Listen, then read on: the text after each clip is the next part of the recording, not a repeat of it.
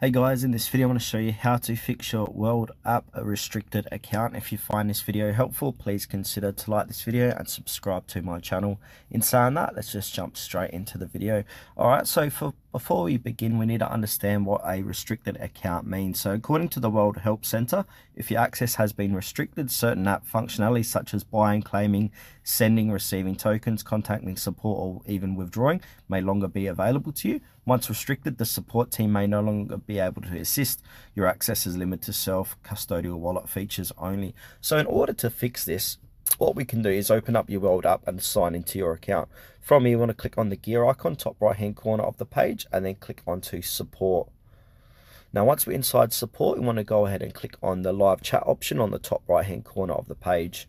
Now, once you start chatting here, you're going to be chatting to a robot. So just keep saying, I would like to chat to a human or speak to a human. And then once a human's on the end of the line, just go ahead and say, hey, I'd like to fix my issues of my world app being restricted can you help me on this? And then they'll run through all the different things that you can try to do to fix your world app restricted account